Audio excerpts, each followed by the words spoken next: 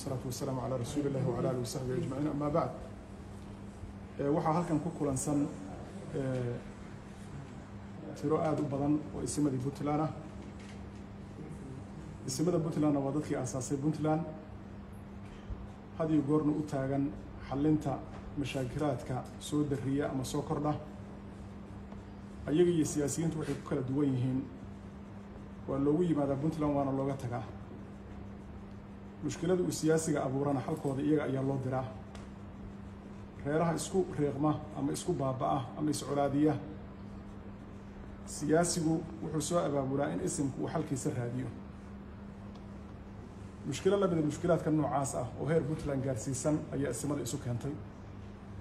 Laba jeer oo hadda ka horreysay oo tii dambeysay ay ahayd laba habeen ka hor ayaa ay soo jeediyeen guddoon isimo oo ku aadan qaabkii marxaladda puntland hadda ay ku jirto ee nin ku faraxsan aanu jirin horey looga sii socon lahaa. Sidaynu ka warqabno puntland waxay ku jirtaa xaalad doorasho taasoo la rajeynayay inay la mid noqoto doorashooyinkii ka horreeyey oo kale. Nasiib darre laakiin aan la isku waafaqsanayn shantii sane ee la soo dhaafay. Dowladda hadda noo dhisan waxaa caado u ahayd oo dowladihii hore ay kaga duwanaatay. Hadba mashaakil ay abuurtay oo ay dhexda kaga tagtay iyadoo xalkiisi aysan helin inay isimadu ku qasbanaadeen inay hagaajiyaan. Haddii laga soo bilaabo dagaalkii ka dhacay boosaaso oo laga baaqsan karay. Dagaalkii ee ka dhacay garoowe oo laga baaqsan karay.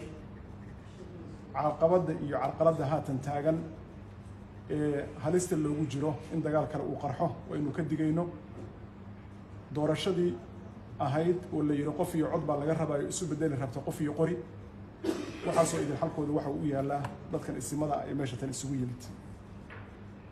Maalinkii maanta ahaa waxaa la filayay inay soo baxaan xildhibaano ku matala puntland shanta sane ee soo socota golaha xiirdejinta ee puntland. Nasiib darro meeshii laga filanayay xildhibaanada kama soo bixin waxaana soo baxay xildhibaano aan la isku waafaqsanayn. Ama waxaa soo baxay dad la soo xulay oo aysan puntland ka ahayn garow inteeda badan dacwaddeeda iyo cabashadeedana tan iyo hadda daqiiqado ka hor halkan ay nala tiilay. Waxaan halka ka soo jeedinaynaa marka saddex qodob. Saddexdaa qodob waxay kuseeyaan reer puntland guud ahaan gaar ahaan xildhibaanadii la soo xulay. Waxaa kaloo ay khuseeyaan madaxtooyada puntland. Waa midda koowaade raggii la soo xulay ee saaka la dhaariyey. Waa muwaadiniin reer puntland ah oo noqon kara xildhibaano. Hase yeeshee waxaan ogeysiinaynaa kuna wargelinaynaa dariiqa loo maray ay ku soo baxeen si ay puntland isku waafaqsan tahay iyo si la mid ah sidii la arki jiray ee looga bartay puntland ma aha. Sidii xeerka iyo dhaqanka u ahayd ee dastuurkooda ku tiilayna ma aha.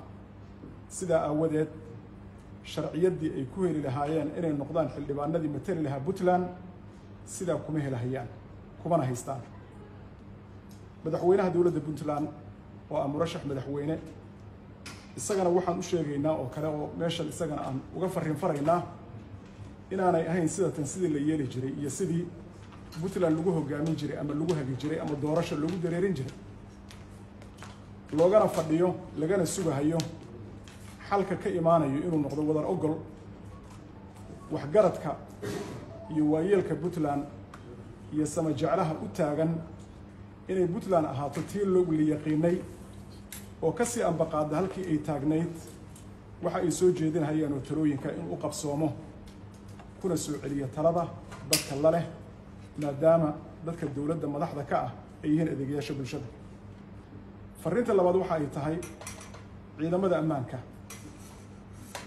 ee magaalada dhinac walba ka jooga oo aanan hadda maanta ku joogin sifo sharci ah. Haddii xabadu ay ka soo baxdo qoriga dhuuntiisana dhibaato laga mutaysanayo dalku waa dalkeenni dadku waa dadkeenni doorashaa la gelahayaa dagaal maaha waxa loo socdo xilka idin saaran waxa uu yahay inaad ammaanka ilaalisaan. Ninnana aydan amar uga qaadanin wax puntland ammaankeeda khalkhal gelinaya dhibaatana u keenaya adduun iyo aakharana aan lagu liibaanaynin.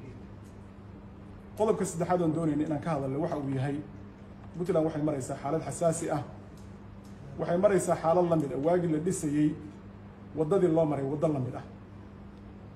Waxaa loo baahan yahay caqli iyo cilmi iyo khibrad iskaashaday waxgaradka iyo haldoorka puntland baa waxaan ugu baaqaynaa inay isugu yimaadaan shirweyne ay isimadu iclaamin doonaan goorta uu dhacayo oo puntland lagu badbaadinaya haddii alla idmo. Waxaan alla weydiisanaynaa inuu puntland badbaadiyo